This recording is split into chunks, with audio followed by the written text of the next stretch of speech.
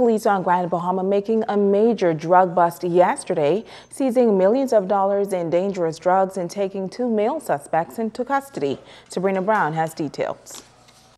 The major drug haul resulted in the seizure of over $3 million in dangerous drugs.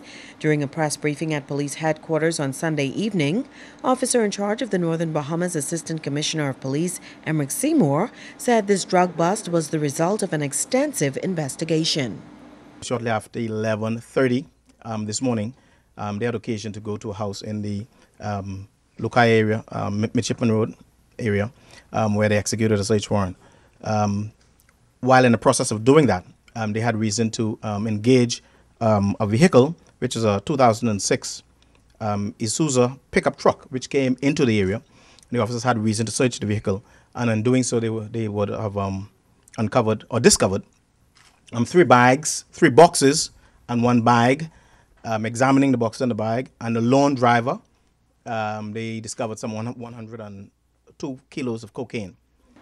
Officers arrested two Bahamian men, a 49 year old of Bayshore and Midshipman Roads and a 36 year old of Fiddler's Green. The operation then led police to the home of the Fiddler's Green resident. They were able to um, uncover or discover um, four coolers which contained um, 56 packages of um, suspected marijuana. And so, in all of the efforts today, what was um, discovered or uncovered was 102, kil- 102 kilos of cocaine um, 287 pounds with a street value of some 2.7, 2.8 million dollars, and of course 56 packages of marijuana with um, some 200, um, 303 pounds with a street value of some 308 thousand dollars. ACP Seymour says this massive effort is a clear indication that police are working diligently to curb crime. It just goes to show that we are we will be relentless in our resolve to bring in the criminal element, element to justice, whether it's Friday, Friday, Saturday, Sunday, or Monday. And so I want to commend the officers for the hard work, the diligence that was put into this overall process. And you can expect, um, you know, this investigation, by no stretch of the imagination, is completed. Um, you can expect, um, or we can expect, um, perhaps there may be some more arrests. We don't know, but the investigation is still open. Sabrina Brown, ZNS Network News.